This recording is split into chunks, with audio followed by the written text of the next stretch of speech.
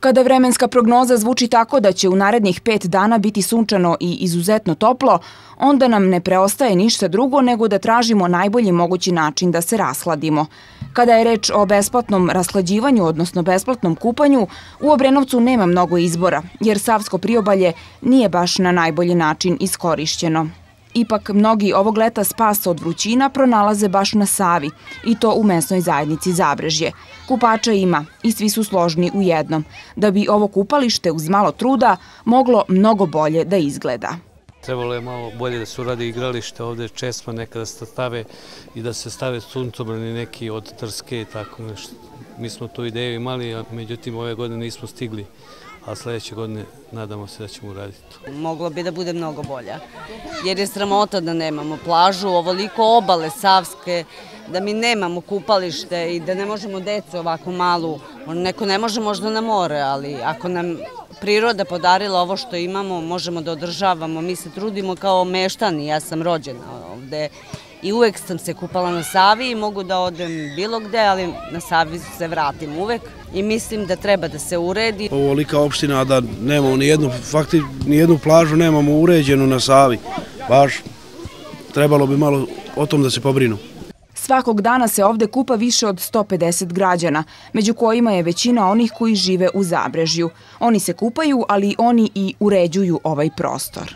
Do sada smo proširili plažu, imali smo nekih možda 4-5 metara, evo dobili smo jedno 50 metara plaže.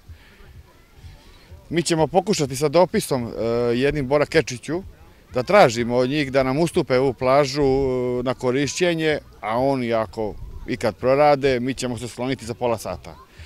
Potrebno je dovesti ovom narodu vodu.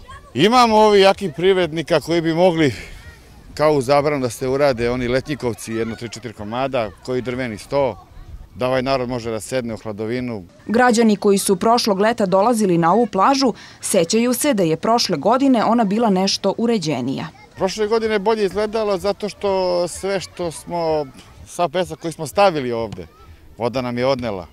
Je znate da je bila poplava, ali je napravila i dobro.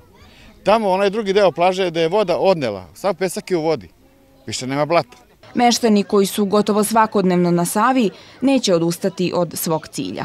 Cilj e, udruženja e, građana plaže Pesak je da pozovemo sve dobre ljude grada Obrenovca e, da pomognu da sredimo ovu malu plažu.